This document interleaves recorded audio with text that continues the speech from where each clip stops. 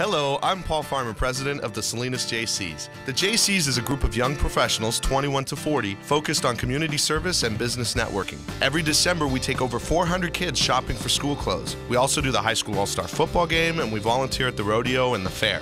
The Jaycees is a friendly group of young people who work actively to improve our community. If you want to get involved and make some new friends while you're at it, check us out online at salinasjaycees.org. That's Salinas,